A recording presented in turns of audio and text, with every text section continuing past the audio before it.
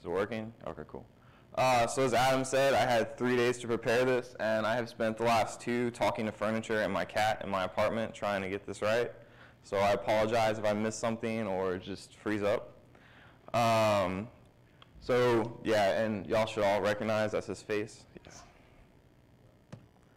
Uh, so DevOps, some of y'all may be familiar with this. This is the new buzzword. It's going to be the next like Web 2.0 and cloud that someone's going to use too much and we're all going to be sick of. Um, this is the Wikipedia definition, and I'm not going to read it for y'all, but uh, basically DevOps is the idea that developers and operations work together, and you know they they work on things as a team instead of one side of the house doing just dev and one side doing operations. You know, we work together and kind of you know make sure that the application goes through all the way to production. Um, at the College of Architecture, this wasn't really a big deal. Ben and I worked pretty well together before whatever. Um, so this book right here, if you haven't read it, is awesome. Everyone should read it and take it to their boss and everyone else, including non-IT people, and make them read it so then they can realize the hardships that all of us in IT have. Um, and this kind of gives you a feel for what DevOps is and like where it came from. Um, and then I added these. This is before DevOps. You know, you got the developer there, and then operations trying to put out the fire. Oh, what? It didn't work on your, uh, yeah. And this is after DevOps. We're all happy, and you know. so, uh, life before configuration management with us. Um, configuration changes were tedious for our sites. Everything's in build out. We do run Python, so we Python. Um, all of our sites were built out and all of the site-specific things like the Nginx configs, the UWSGI configs, and the supervisor stuff was all done in each little site. That's a pain in the ass if you need to go change something, especially since every one of our sites was pretty much identical. So that's, what, 15 repositories. You have to go in and change all these files. It's kind of a pain in the ass. Um, systems require a lot of manual configuration we couldn't, you know, go and spin up these machines, and you know, it, it took a while. You could go put the packages in place, you know, install whatever we need, and then get configuration files hand edited. So it takes a lot of time, especially when you need to start scaling. Um, most of our systems were not highly available. In fact, I think we had just the one that was highly available. Um, again, it takes time. If you have to continuously go in and, I mean, no one wants to go do the same thing three or four times by hand. It's, it's, why would I want to do that? Um, we had no documentation about our systems at all. So if Ben had left, we would have been fucked. Uh, yeah. And, and that, that's caused a problem because, you know, on top of the fact that we have to configure all of this stuff by hand, we didn't know how. We had one person who knew how the systems worked and how everything worked, and that was it. If he left, yeah, hopefully nothing goes down. Um, and that leads us to no confidence in DR. Um, you know, you have to be able to reconfigure systems, even if you're doing snapshots and you're cloning VMs and stuff like that. It's still something that, you know, what happens if you lose those? You still have to be able to rebuild these systems some way. Uh, disaster recovery. Sorry. Uh, and I realize I'm talking very fast. Turns out this is kind of nervous. Um, so reduce time between ticket production, uh, sorry. These are our goals, and I'm not gonna lie to you, we didn't sit in a room and decide this is what we need to do. I kinda just go out and find things like a dog, and then I just start doing them. So this was the end result, but I'm gonna pretend like we had these goals to begin with. Um, so reduce time between tickets to production. Um, I don't know how often we did deploys back then, because that was like six months ago. Um, but it wasn't every day, and it took a lot of time to go from, you know, someone makes a feature request or someone has a bug to actually pushing that to production, because it's got to go through devs test it, then it goes to staging, then finally it goes to production. It takes a lot of time. And if you don't have that automated, it takes even more time. Uh, eliminating repetitive tasks, adding users to systems, removing users from systems, um, adding SSH keys, all that stupid shit you have to do every day I don't want to keep doing it. And yes, you can config some of this stuff out, but you know, uh, manage a growing number of services with less effort. That's kind of the same thing. again, at three days. Uh, so, you know, we have customers that come in and say, hey, I want this service and I want this service. And, and then we have to go build those servers. And that's a pain.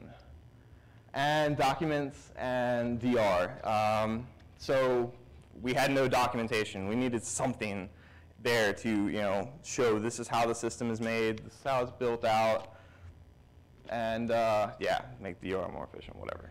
Uh, so,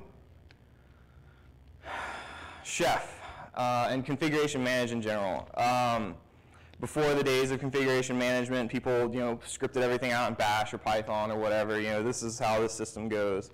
But then you start having multiple systems. Maybe there are similarities, but you know, there are differences too. And so you have to rewrite code lots.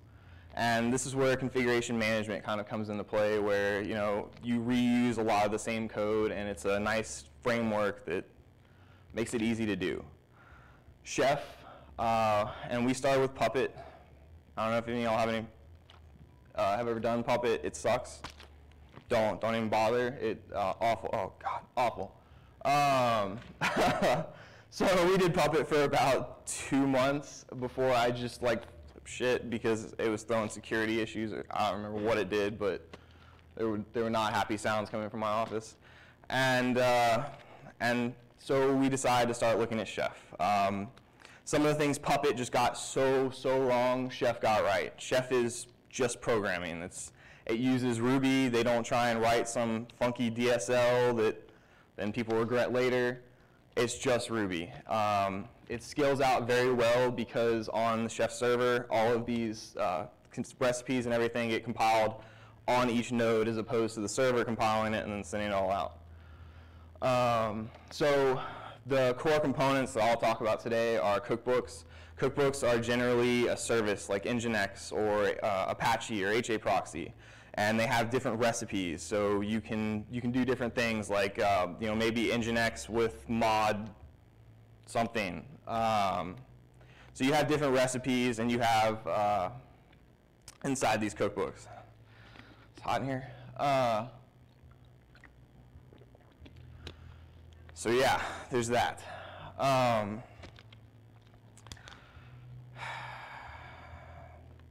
yeah, I'm just gonna move on. Um, so this is my documentation now. This is a recipe, and this is actually the recipe that installs or deploys all of our web app sites. Uh, as y'all can see, it's pretty straightforward. It's all Ruby code. It's all very readable. Anyone, even if they don't know Ruby, could, could go through and read this pretty well.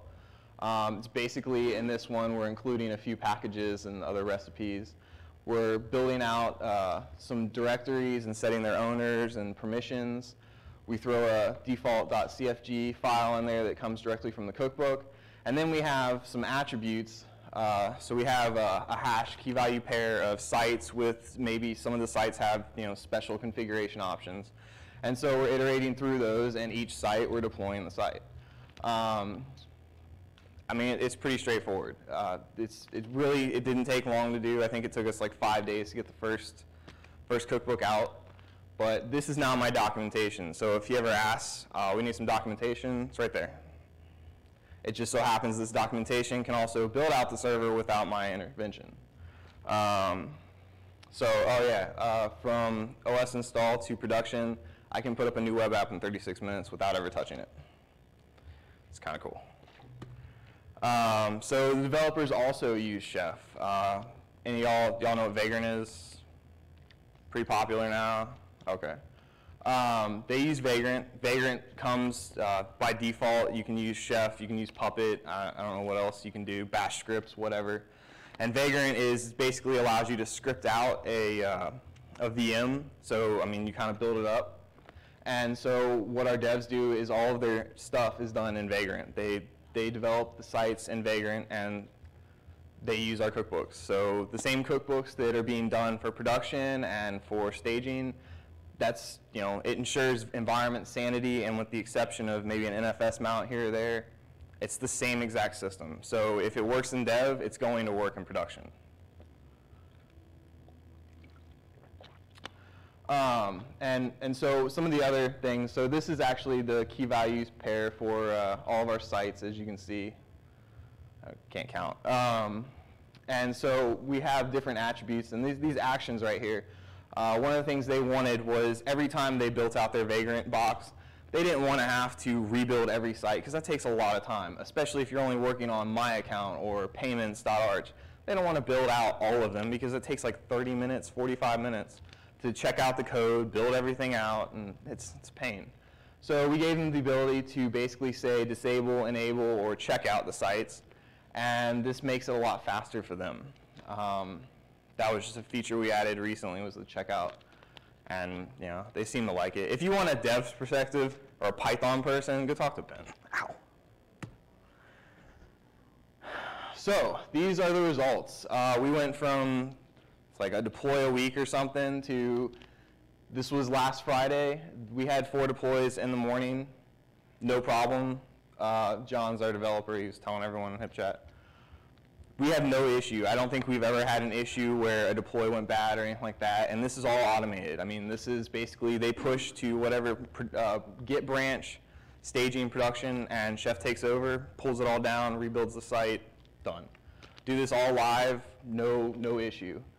Um, and I don't know if you remember the dog before, so we now have like multiple deploys. It's very clever, I know. Um, yeah, so I probably went through that in like 15 minutes, right? 13 questions. Yeah, so, uh, yeah, and yeah, him, again. This is the reason I'm up here wasting y'all's time. Um, we are hiring for a senior dev, so if you want to come work with us, we're awesome just to let you know. Um, and those that's my contact information. So I'm gonna take questions now. Yeah. Anyone questions? You want me to go over something again or? Could you like say why you talk about how you why you update servers? Uh, I don't like the DSL. Like the their bastardized JSON crap is really irritating, and the fact that they don't do things like I mean, when you write code, you expect it to execute in a certain order. Puppet doesn't do that.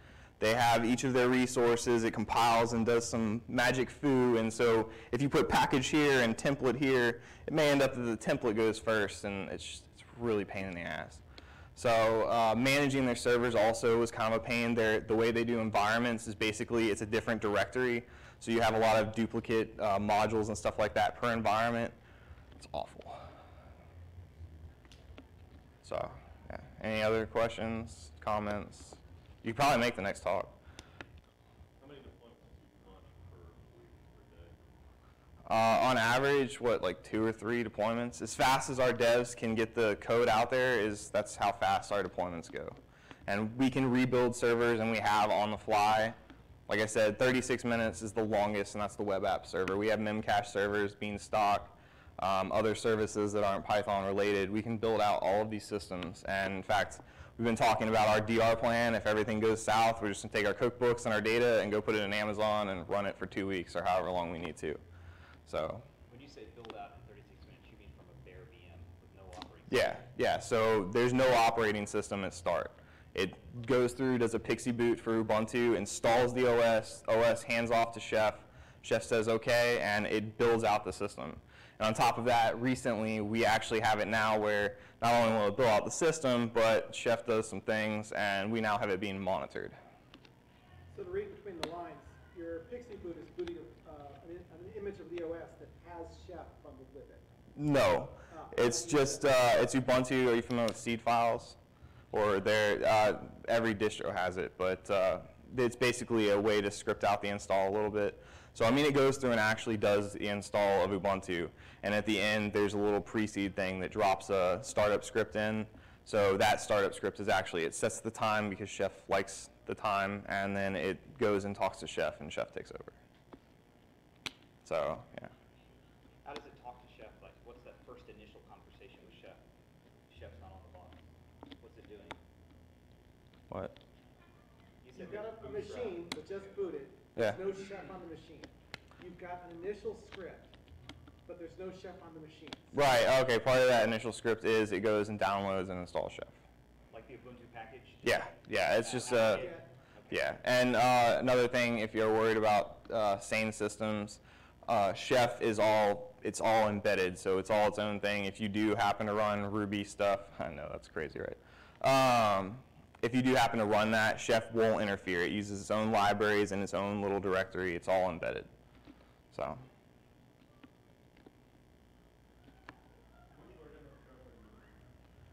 uh, we're using 11.4. We haven't upgraded to 11.6 yet.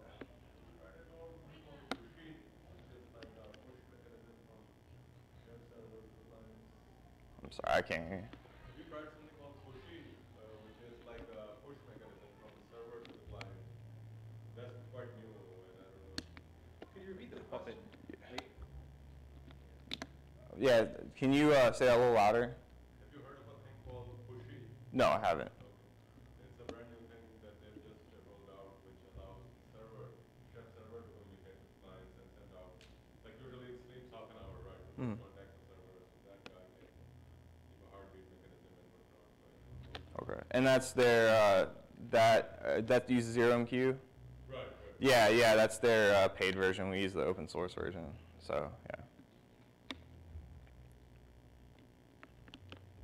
Any other questions? Telling you that talks over there. It sounds good.